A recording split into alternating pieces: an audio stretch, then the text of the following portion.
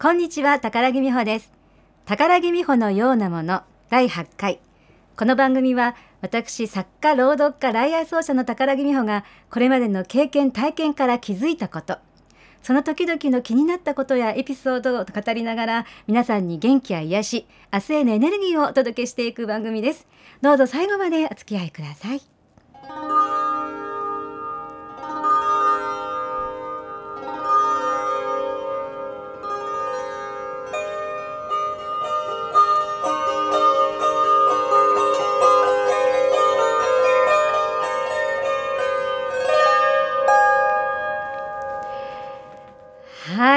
8回始まりました。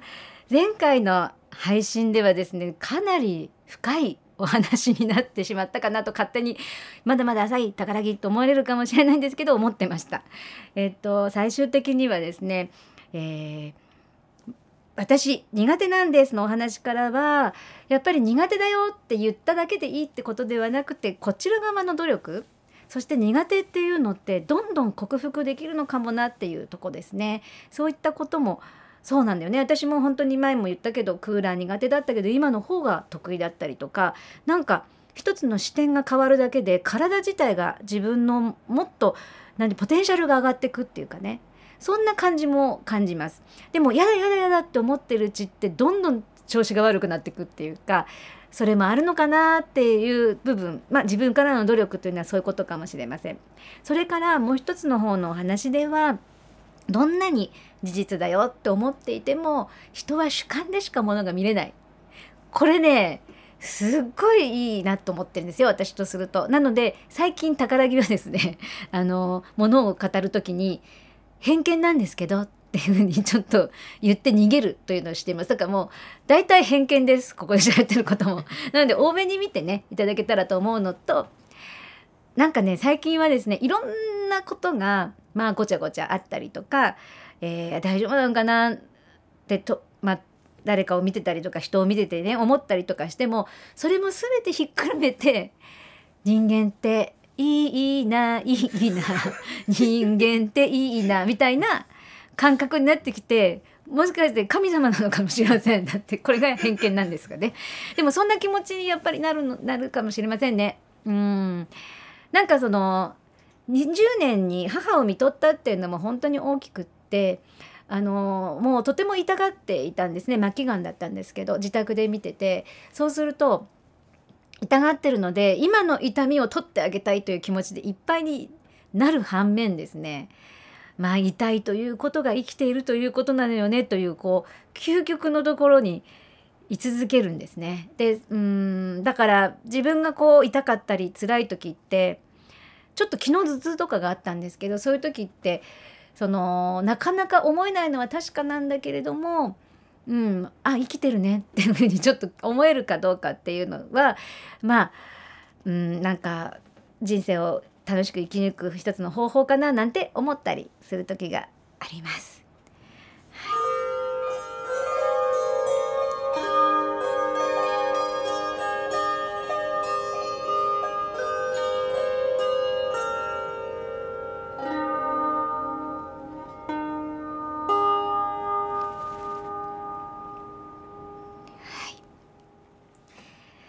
えー、大体ですねラジオで話す時は2つぐらいお話をしていこうと思ってるんですけども1回目のお話がですね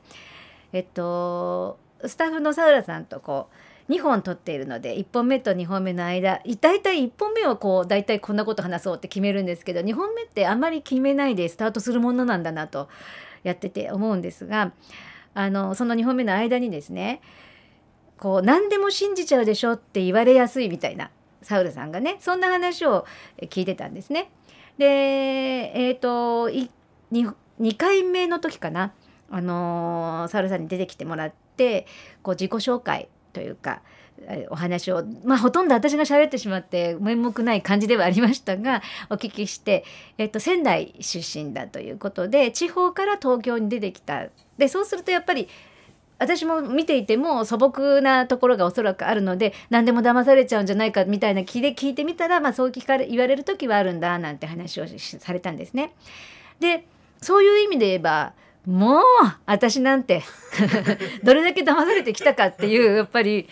もう簡単なんでしょうね私みたいにその何でも素直にあの純粋といえばいい言い方言い方で言えば純粋でだから周りから見ると心配な子だったろうなって私親をね本当に尊敬するというかね心配だったもう家にいろって言われたからね一度 そう出てくな出てくともう何騙されるか分かんないからってそれぐらいの本当に、えー、ところがあったんですね。で山ほどあるんですけど、まあ、語れないこともいっぱいあるといえばあるなと思っています。そういうこうコアなコアな話が聞きたかった場合は本当にライブの本当に一部だったりとかまあ酔っ払っあんまりないんですけど最近酔っ払ったりとかした時に話せる時もポロッと話す時もあるかもしれないんですけどまあ話せるなという騙された話 してみましょうか。でもこれねあれですよあのー、今思えばぜ警察に届けるべきだった。うん、なぜならなぜならね私がどうこうじゃなくてえっと未然に防げたかもしれないことがあったかもって意味ですね。うん、その辺りにその人が出没してたんだからさってやつなんですけど私ですね、うん、土地はちょっと言わないですけどある場所で、うんと、ちょっとこう店番みたいのを週に1回だけお手伝いしてた時があったんですね。でそれはあのうんとアクセサリーを主に扱ってて、まあ、高いものではなくて作家さんが作ったようなものとかそういうものをやっていたんです。で基本一人でちっちゃいちっちゃいこう6畳もないぐらい6畳ぐらいかな、まあ、ぐらいの広さなので、えー、まあ時折来る人に、まあ、接客していくんですけどもそこにまあ普段来そうもない男性のお客さんが入ってくるわけです。で入ってきた時にその方が、まあ、背が高くてね黒い服を着てて今思うとちょっとねボロい格好だったんですけどでもまあお客さんなのであまりそういうことには気を止めずにねまああの世間話をしていくんですよね。でうんとねどんな話をしたかね私今ねちょっと携帯をさっき見てみて、えっと、そこにメモで残してたんですけど今ちょっと見つからなかったので思い出し思い出しなんですけどなんか面白いんですその人のお話がいろんなお話が。例えばね中国何だったっけなあのー、えっとねテレビ局に関係してたかなんかそのメディアに関係しててそれで中国に行ってたことがあるだったりとかなんかこうそういう話が面白くしてくれたりしてでその時に私の癖としてねあの人の話を聞く時に自分の持ってるデータ自分の持ってるデータっていうか自分の持ってるこう知り合いとかそのつながりの中から私とつながる何かないかなって探しながら聞くっていう癖というか特に接客だとやっぱそういうことはあるんですよ。というのはその方の「えこんなことですか?」なんて話盛り上がっていくってすごく大事なことなので探しながら行くとあ私それ関係ありますよみたいなことが見つかってねで確かね自分の大学に関連することだったんですそれが。で「おー!」って言ってで向こうも「そうなんだじゃあつながるね」みたいな感じで意気投合じゃないけどなんか楽しい話になったのね。でこの内容を覚えてないもんだからあのー、今一つこう現実味がない話となってしまってるんですけどまあとにかく盛り上がったと。うん、面白い人だなと思っていた。それでさその人が、まあ、何も買うこともなくさあどっか行こうかなっていう感じになった時にあっって顔しててあお財布がないじゃないけどないっていうか入ってないかどっちだったから忘れたんですけどでこれから原宿か渋谷かまで行かなきゃいけないと。うん、そっからだとまあちょっと電車賃かかる。まあそんなにかかんないかな。でも何百円かですよ。かかるんだけどないんだよって言い始めてえっと思って大変ですね。大丈夫ですか？何時までに誰かと会うのに行かなきゃいけないんだって言っててあ本当ですか？大丈夫ですか？なんて言ってもう信頼しちゃってるんですね。その時には私は見ず知らずのその人をねその内容からねでそこでね確かねうんとねうんと有名な企業の名前とかが出てきたんじゃなかったかなと思ってそういうのに弱いんだな自分って後から知るんですけど信じちゃうということですよね。それであ貸しましょうかって私から言ってしまうんですよ。で貸すって言っても多分500円も貸せばいけるはずなのね。でそっちで向こうと人で会うわけだから。でも向こうからは一言も言ってきてないの今の時点で。でそういうふうに500円ぐらいならまあいいっちゃいいっちゃいいじゃん？だったんですけどうんとね5,000円貸したのね。意味が分かんなくない？もう、うん、意味が分かんないんだけど。本当に。でどうしてかというとなんかねまあお客さんかもって思ってるのがまずありますお店のお客さんかもっていうのが一つあるのと住所を書いてったんですよ住所を書いたから信じて渡したんだけど出た瞬間その人がお店から「あれ?」ってちょっとなんか思うの私は。あこれ騙されてた場合どうなるんだろうって思ってで行ってしまって出れないじゃないお店一人だから追いかけられないじゃない。出た瞬間思ったんだけど。で住所調べたらその住所にはマンションがあったんだけどその人の言うものはなかったんだよね。それで詐欺だってことに気づいたの。でなんで警察に行けばよかったって私が言ってるかっていうとこの人さいろんなところに出没してる可能性があるじゃん。お店とかで私のような人を騙して。っていうとこがあるからあのー、言えばよかったなって思ったのね思ったんだけどなんであの時言わなかったのかなっていう思うんだけどただその自分の変な感覚としてあのね今私さこれ具体的に言えないからさなんかつまんない感じになるでしょでも騙されるだけのすごいトークがあったのよその人の。その具体的な。でもしもこれが詐欺だとしたらすごいと思ったの。なんでこの人はなんか脚本書くとかそういうことに使わないのっていうか。だってなんかね全然確かにボロい服かもしんないんだけどちょっとスラッとしてあのなていうかスタイルも良くてさ。ななんだろうなって思っちゃったの。でもまあ本当に困ってるんだったらその人がこう助かったんだったらそれでいいやって思いとあといつかまあこの話を何かに今話しましたけどして私は何百万円も稼ごうと思ったんで言わなかったんだけどこんぐらい騙されやすいの。いや話がうまかった。話がうまかったの。あの面白いの。だからどこからがだからよく詐欺って本当の話を8割ぐらいして嘘が1割とか2割とかだから多分初めの方の話してる話って本当だったんじゃないかなと思うんだよ。で共通点も見つかってわーって盛り上がってたんだもん。だからあのー、信じちゃったのよ。うん。すごいよねでもね。でも多分向こうとすると1,000円ぐらいもらえればいいかなっていう気持ちだったのになんで私は10倍あ5倍っていうか500円でいいって話なのにさ。でもよほど困ってたんじゃない？うん。っていうぐらい騙されやすいので私はですね人に騙されやすいでしょなんて言う資格もないほど ひどいもんなんですがはい。でもまあうん騙すよりは騙される方がいいよねっていうのはないよね。いやもう騙されたくないよね。人の行為を踏みにじるあのものはいけませんよ。うん、なんか急にさ違う話が出てきちゃったけどどうしよう。あのオレオレ詐欺ってあるじゃない？うちね母がかかったことがあるの。オレオレ詐欺に。で人の善意をっていうのはその心を踏みにじるのって良くないよっていう話の中の一個なんですけどそれはね母が朝一人で一人じゃなかったんだけど行った時に兄から電話がかかってきて今実は病院にいると。病院にいてもしかしたら悪いものかもしれない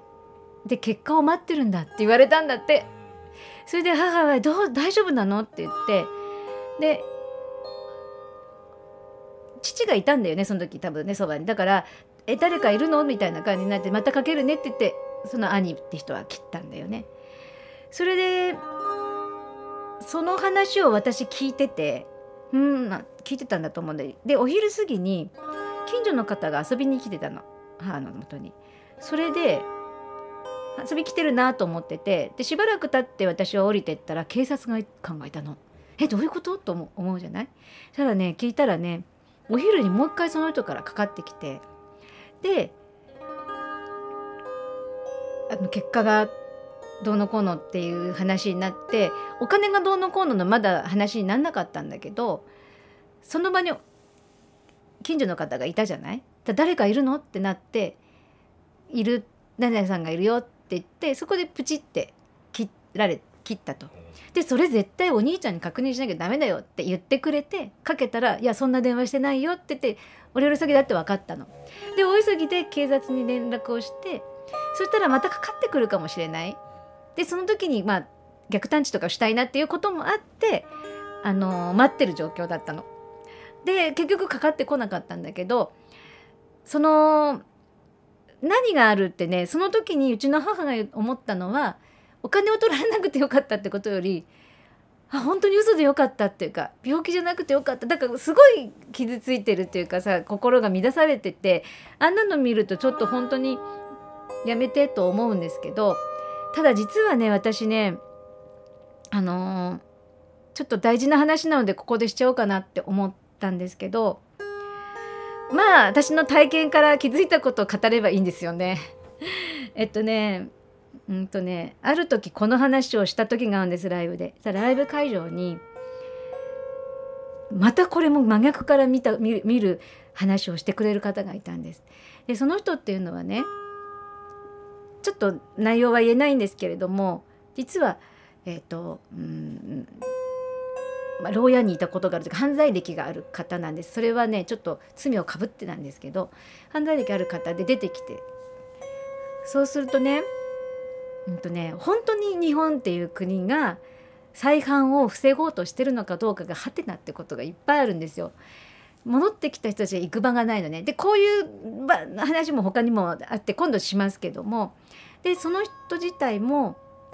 そういうその帰ってきたんだけれども行き場がない人たちのサポートをしてたりするんですね。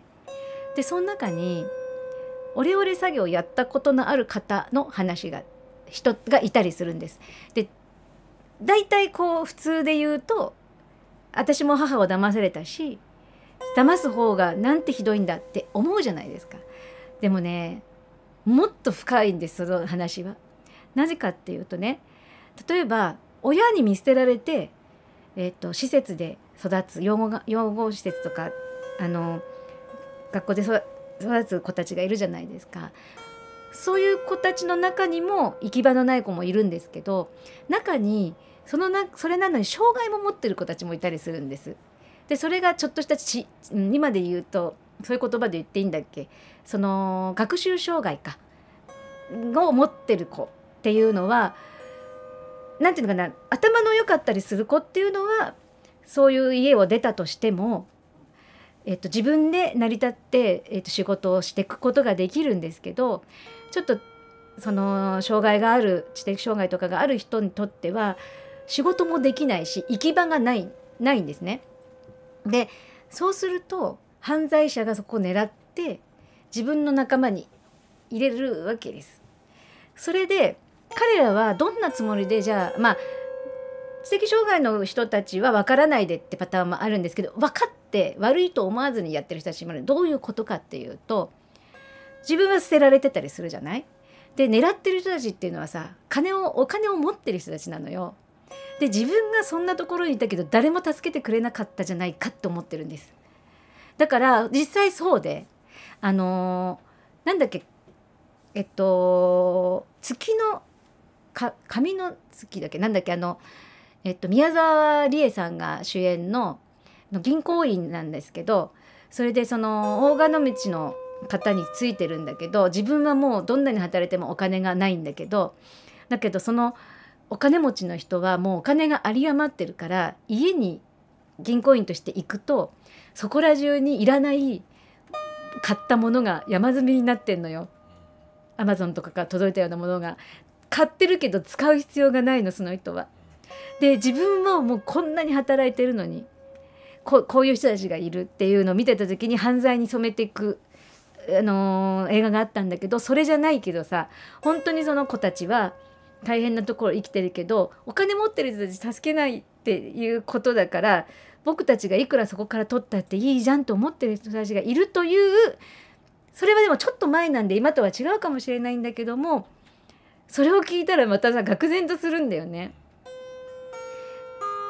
なんて言ったらいいのかなあの私たちはやっぱそういうことに目も向けないので、うん、っていうことがあったので話しちゃいました。はい、またこんな話もねしていきたいなと思います。まああの皆さん騙されないようにお気をつけくださいって簡単なまとめになっちゃったけど。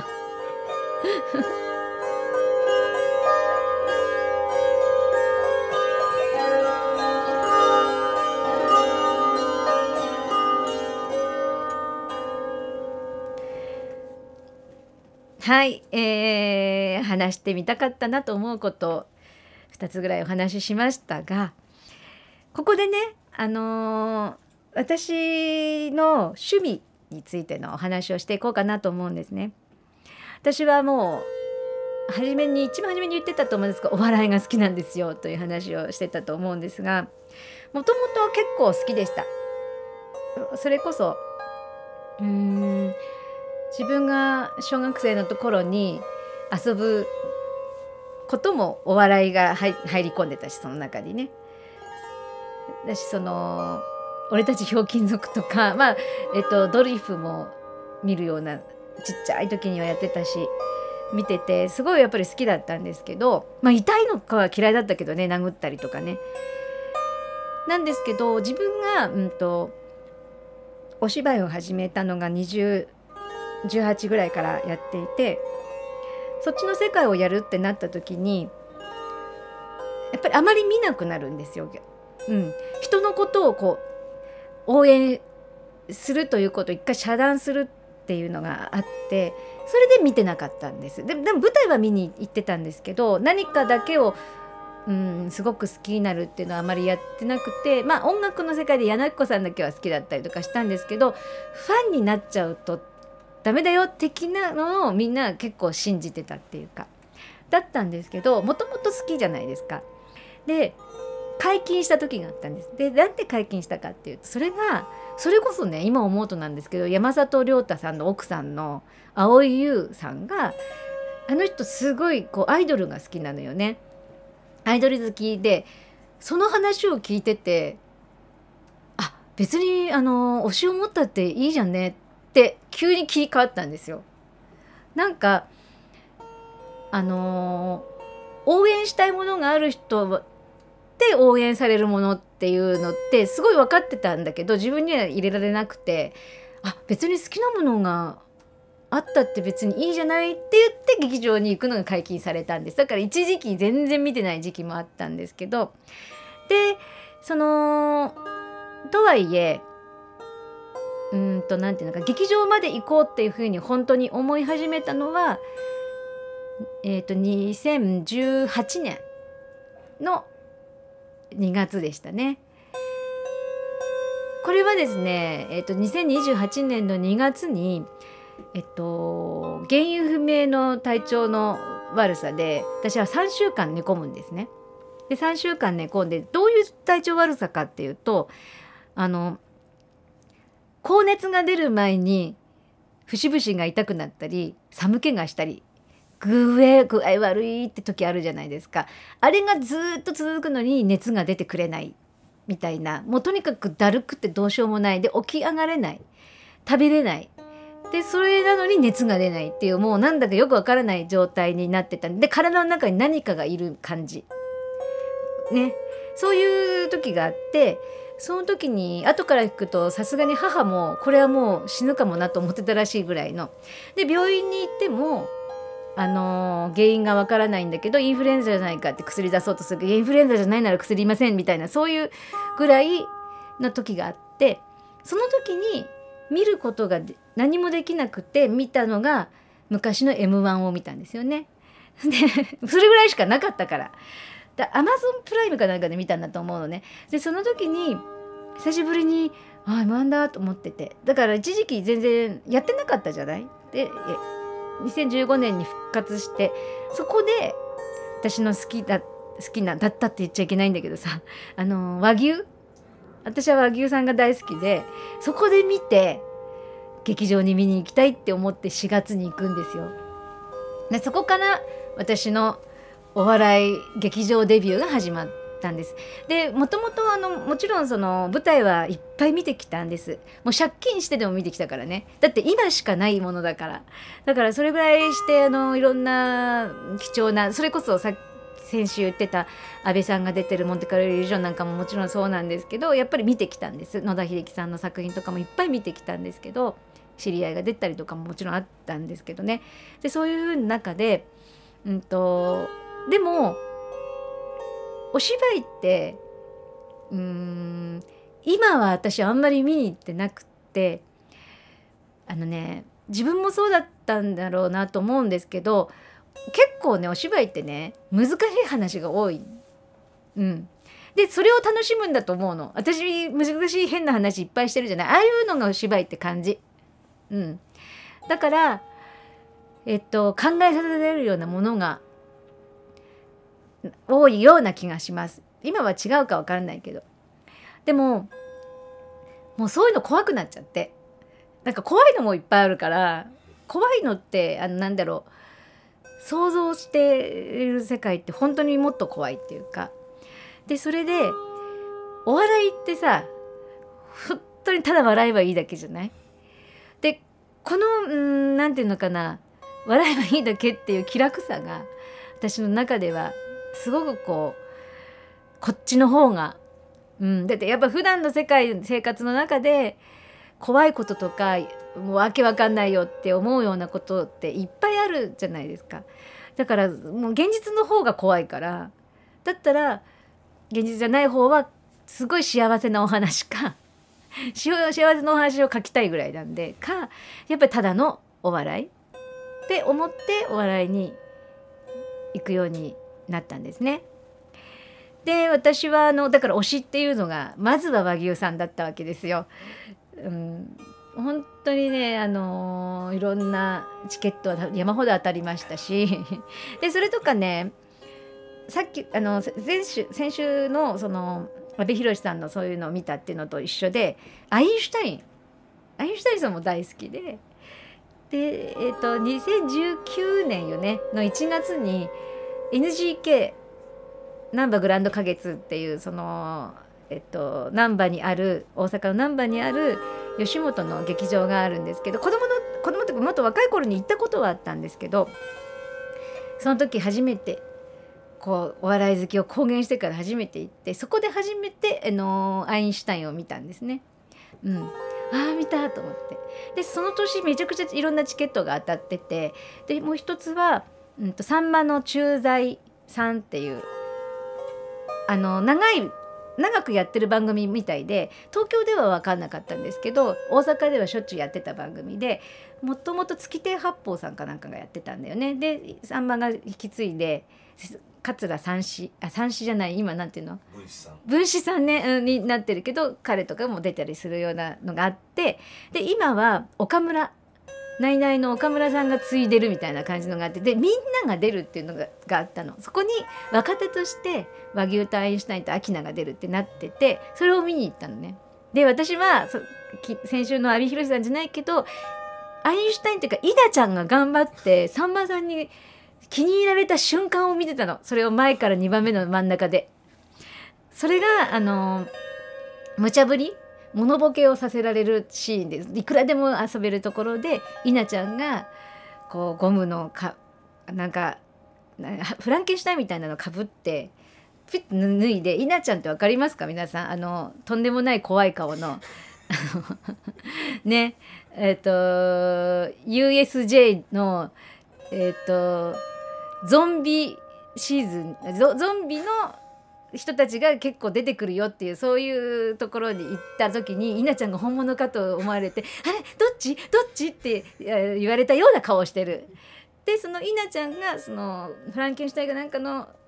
かあの被り物をして「取って取ったとて」っていうふうに言ったらそれがもうすごいさんまさんにはまって何個も何個もやったんですけどあいいなちゃん来た次に来たって私はその時思ってついにこれでブレーキすると思ったら本当にそこから売れたんです。で私は勝手にそういうことを思ってたんだけどでもアインシュタインのこうインタビューなんか見ると「あの時からです」っていうふうに言っててやっぱりねっていうのが大好きなんだよね。安倍さんも。勝手に一人で思ってんだよバカだから。それでまあ推しはまずそのそこら辺は大好きだったんですけど今の推しはですね話いいよね。今の推しはですね。実はあのコント師で空気階段なんですね。また全然違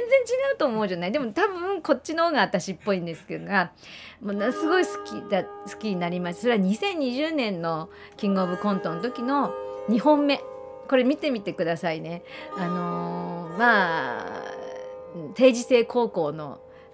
話は知ってますよね。定時高校なんでいろんな人たちが来てるんですけどこう水川かたまりっていうね人の方はもう女装が可愛いんですけど女性として来てるわけですよ。で初めにドキドキしながら席に座っててそこに「私は今恋をしている」って後ろの席あ前の席のなんとかみたいな感じでやっててどんな人が来るのかなと思ったらもぐらっていうね知ってますかね？借金芸人だった。今も借金じゃないクズ芸人って言われてる人が「へいへいへいへい」って喋れない子に「うへいへいへいへい」ってもう何言ってるか分かんないんだけど塊だけは全部分かってるみたいなそういうコントのコントで彼らの純粋さを感じて恋に対する。純粋だ彼らはと思ったらラジオを聞いたら本当に純粋だったって分かって大好きになっちゃったのが空気階段です。であとは今はランジャタイも好きでっていうそういうまあ感じにやってるんですが、えーと、ちょうどこの私この収録してるのが9月の2日なんですけど、えー、2日前の8月31日に単独 5, 5回目かな？の公演の第6回か。第6回単独公演の「無修正」っていうのの最終日で私行ってきたんですけど一番前だったんですね。もう。でねそうなの。それでねこれは本当嘘じゃないんだよ友達と行ったんだけどあのめちゃくちゃ私を見てるんですモグランが。めちゃくちゃ見てるけどこんなのなと思ったら見てたよねって言われたの。だから誰かに似てたんじゃ似てたんじゃないかなと思うんだよ。でもめちゃくちゃだって見てるから「はいどうも」と思って私めっちゃ笑ってたからかなとか思ったけど笑ってた向こうが笑っちゃまずいと思ってなんかちょっと黙るみたいなぐらいの感じで ありました。あのそうそういえばね話が長くなっちゃったけど私この話したっけね？あなんだっけ？朝のさ番組で私のメールが読まれたっていう。言ってはなかったかな？ある番組でねあの花丸博多華丸大吉先生が出てる 大吉先生って言ったらもう何の番組か分かっちゃうけどそこで見た時にチョコレートプラネットさんたちが出ててその時も前から2列出てたんで私がこうファックスっていうかメールを送ったら読まれたんですけどその時も私は2列目に見てて2列目に見てて収録だったんでテレビの。その以前私これ意味わかる？みんな。私言ってて意味わかんないんだけど。あのちゃんとちゃんと言っとこう。博多華丸さんじき先生の司会をやってる朝のテレビにチョコレートプラネットさんの2人がゲストで来ててチョコプラさんに何か質問とかありますかって言っててそれではっと私がエピソードを思い出して書いたら読まれたっていうことなんですね。でそのエピソードっていうのが以前私が博多華丸大吉先生の司会をやってるうんとでチョコプラさんも出てる、えーと、番組の収録に行った時があってその番組の収録で2列目に行って座ってたんで変なところで笑いたくないのにチョコプラさんの夏尾さんを見るだけで私が吹き出しそうになってそれで絶対今笑ったらまずい。だってまだコント始まってない時に笑いそうになってるからまずいと思ってこう顔をあの洋服に当ててに逃げたという話があってそれと同じように変なとこで笑ってはいけないと思ってでももぐらさん絶対見てると思って。で一度私はもぐらさんにニアミスをしていて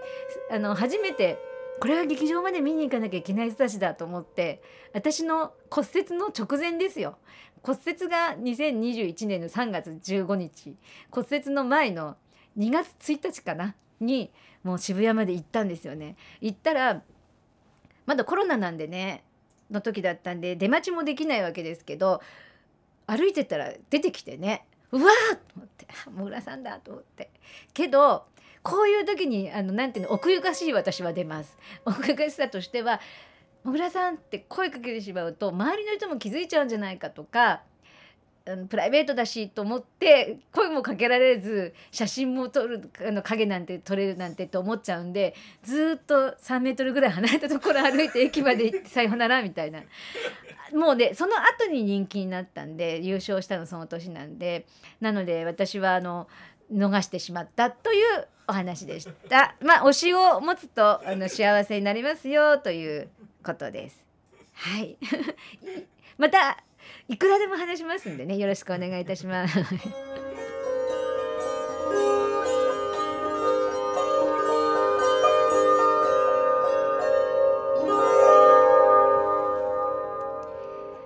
はい、エンディングのお時間になりました。えー、今回告知はですね、えー、っと明日明日ですよ皆さん。9月18日ウェルカムバックライブあなたにようこそお帰りをやります。えー、っとこのラジオが流れる頃には満員御礼と書きたいところですがもしねそうじゃなかった場合は劇場にあ劇場というか会場にもね来れますのでちっちゃなねあの絵本ショップなんとか堂さんっていう日野市の南平にあるショップでやります。で、えっと、実は配信がありましてえっと後からになりますけれども見ることができるのでぜひ見ていただきたいと思います。その時にはですねあいあの明日はですねアイスランドのアイスランドって珍しいでしょ？アイスランドの絵本があって怪物。可愛いんですよ。これねうんとインスタライブとかでは見てたりとか写真も出したりとかします。でそれからあのでそこで怪物の絵本が私はもう超お気に入りになってこれをね明日は読んでみようと思って紙芝居で読んでみようと思っています。それからえっと卵の独り言っていうねえー、産業の詩を書いてるんですけどこれも360編ぐらいあるんですけども毎日1編ずつメルマガで送ってるんですね。そのメルマガのもそうなんですけどと絵のない絵本っていうのを卵の独り言で作ったんですね。で片方側に産業の詩があって片方真っ白っていうのがあって例えば「卵の美しさ何かを美しいと感じたならその美しさは本当は君の中にあるんだ」みたいなことを「君と君をかけたりしてね」みたいなことをやってるんですがこれを、うんと劇えー、とライブの時に一冊小さいのをプレゼントします。で実はですねこの6月のライブの時にプレゼントで持って帰った方からお客さんからですねこんな風に作ったよっていう、えー、本をいただいたというか見せていただいたんですね。でこの模様も、うん、映像を撮ろうかなと思ってます。もう出てるかもしれないんですが。うん、ということなので、えー、また絵を描けるぞって方とかね色を塗れるぞっていう方がいたら来ていただけたら嬉しいなと思います。それからちょっとお母さんを語るってイベントとかをやろうかなって皆さんがお母さんを語るって回なんですけどこれ以前やってたんですがこんなことも企画しようと思ってますのでよかったらチェックしてみてください。えー、そうですねその他私の最新情報は YouTube、Facebook など各種 SNS、X とかねメルマガでお知らせしております。この番組では皆様からの感想トークテーマのリクエストお悩み相談あなたの面白いエピソードなどそして私実は苦手なんですコーナーのエピソードもお待ちしております。コメント欄への書き込みもしくは説明欄に記載のメールアドレスまで送ってください。それではまた次回お会いいたしましょう。ご相手は宝木美穂でした。さようなら。